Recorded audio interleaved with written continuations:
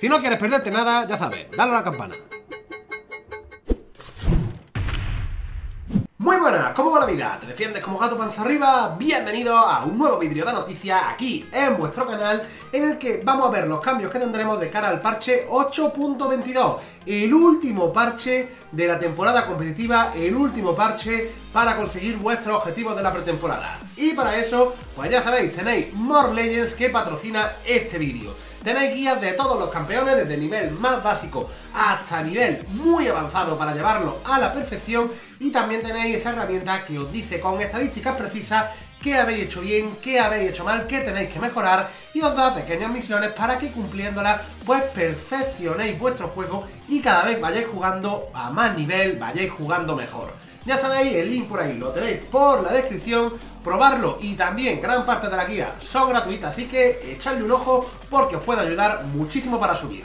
Yendo para todas las cosas, pues ya sabéis, vamos al meollo.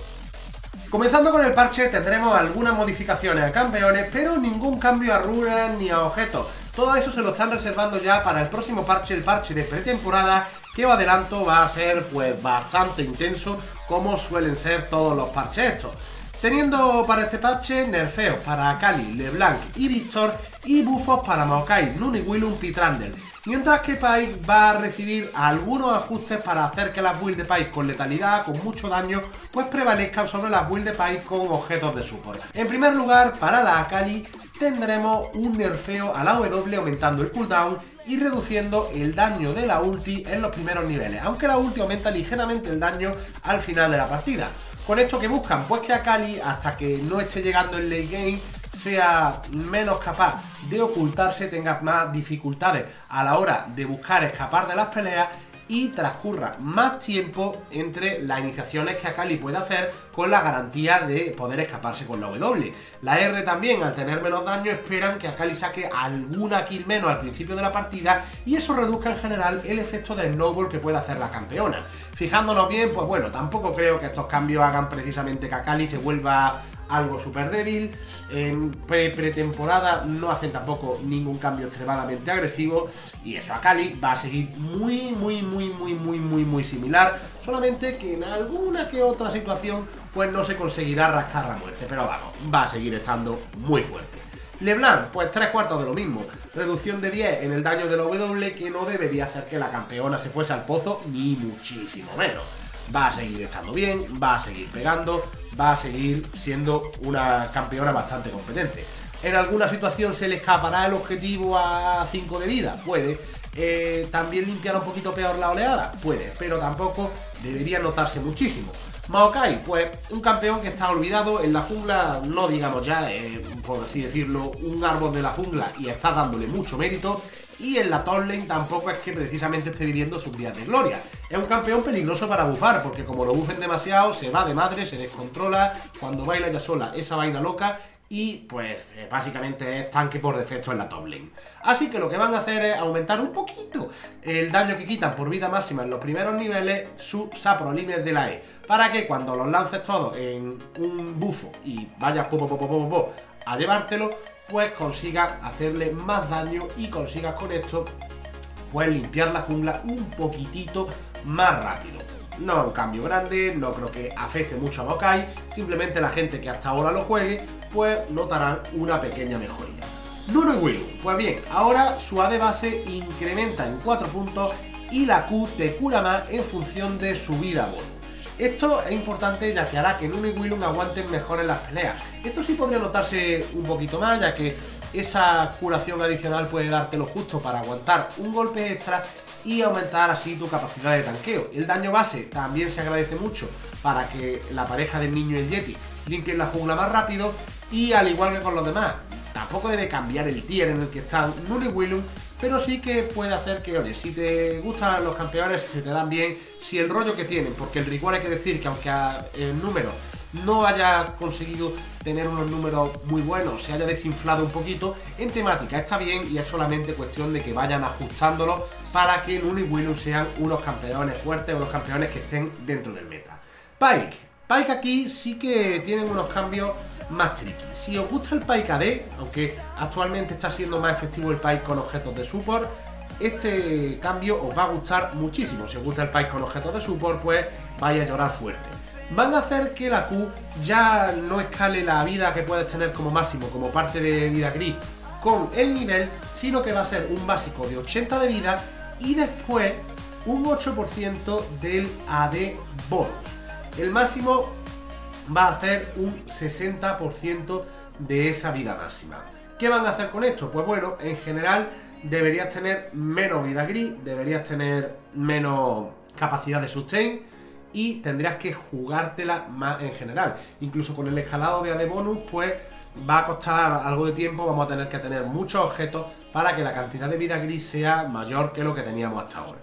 La W de país, pues bien, lo que va a tener ahora es que va a tener menos coste de maná y también la velocidad de movimiento ya no es entre un 60 y un 80 más un escalado de la de bonus, sino que es un 40% base, pero escala con tus puntos de letalidad. Si tienes un par de objetos de letalidad, estás casi con esos 40 de letalidad, pues vas a escalar muchísimo, va a tener una velocidad brutalísima. Fijaos, el 40% más esos 40 puntos de letalidad multiplicados por 1,5, pues da que tenga un 100% de velocidad. O sea, va a ser un auténtico misil ese pipe a medida que vayamos metiéndole letalidad. Después, la E, la duración del stun, pues también escala con letalidad. Es algo curioso esto de los escalados con letalidad y creo que puede ser una buena solución para cuando un asesino se vuelva problemático con objetos demasiado tanky. La duración del stun, si te hace letalidad, como digo, va a ser mayor a lo que lo era hasta ahora. Con dos objetos, pues sería parecido a lo que lo tenemos y si te haces tres objetos de letalidad, pues ya va a conseguir una duración del stun bastante mayor. Por último, para terminar, la R también va a escalar con letalidad. Haciendo, como digo, si lo veis en conjunto, que el Pai que va full, full, full asesino, Draktar de primer ítem, después nos pillamos la Joumu, va a conseguir llevarse por delante a más objetivos. Trandel, pues va a tener una pequeña mejora en la Q, tanto más daño bonus de forma base a medida que te la vas subiendo de nivel, como también un incremento en el 10% todos los niveles del escalado de AD. Esto simplemente es para hacer que Trandel sea una opción más viable cuando te estás enfrentando a un equipo con 2-3 tanques. Trandel tuvo un tiempo hace poco que, bueno, parecía que estaba ahí, que iba a asomar, que se podía volver un campeón bueno en la jungla, pero rápidamente le retiraron su bufo porque no estaban demasiado convencidos con ello. Pensaban que podría volverse demasiado fuerte, que quizá para los mundiales podría tener mucha potencia, así que bajara para el troll. Ahora le devuelven un poquito de su fuerza para que, si te gusta, pueda jugarlo. Y Víctor pues lo que quieren hacer es que tenga más potencia si te lo haces en la mid si te lo haces con AP, pero tenga menos potencia si te lo llevas a top con objetos de tanque. Por un lado, me gusta que quiten cosas que pueden molestar demasiado, pero por otro lado, sí que es verdad que la build de Víctor, aunque esté algo fuerte, la veo bastante única, la veo mm, chula, la veo que aporta diversidad y creo que quitarla ahí en vez de esperar al final de la temporada puede ser algo demasiado agresivo. Lo que van a hacer básicamente es que con el daño que pegas con el ataque básico potenciado de la Q, tengas menos daño básico a medida que suben los niveles de la habilidad, pero que por el otro lado aumente en un 5% tu escalado de AP. La idea es que a nivel máximo, si tienes menos de 400 de AP, pegará menos, si tienes más, pegará más. Con la R es exactamente lo mismo, aumentan en un 15% su escalado de AP pero el daño antes llegaba hasta los 350, desde los 150, ahora empieza en un poquito menos, en 130, es decir, para que tenga esos 125 de AP aproximadamente a los primeros niveles, pero en un último nivel tiene 60 menos de daño, 60 menos de daño con un escalado aumentado en el 15% de AP, pues lo mismo, esos 400 de AP como número mágico. ¿Qué indica? Pues que te lo estás haciendo muy full, full, full, full, full mago y que te pillas tu Rabadón, te pillas tu Luden, en definitiva que ignora los objetos de tanque con los que se está haciendo Víctor hasta ahora. Como podéis ver, un parche que tiene algunos cambios de ajuste a campeones, pero ningún cambio es especialmente agresivo, ningún cambio es especialmente grande, buscando alterar el meta, alterar cómo se juega. Quizá el único que puede verse con esto es el de Víctor y también, en cierto modo, el cambio de Pike. Y bueno gente, eso ha sido todo, espero que el vídeo os haya gustado, si ha sido así ya sabéis, no olvidéis compartirlo con vuestros colegas, dejar vuestro likecito y activar la campanita de Indol si todavía no lo habéis hecho. Recordad también que tenéis More Legends por ahí, por la descripción, por si queréis darle caña, por si queréis mejorar muchísimo vuestro nivel de juego. Por mi parte, poco más, muchas gracias por estar al otro lado de la pantalla y nos vemos en el siguiente vídeo o en el siguiente vídeo. Según vaya la vaina, adiós. Si no quieres perderte nada, ya sabes, dale a la campana.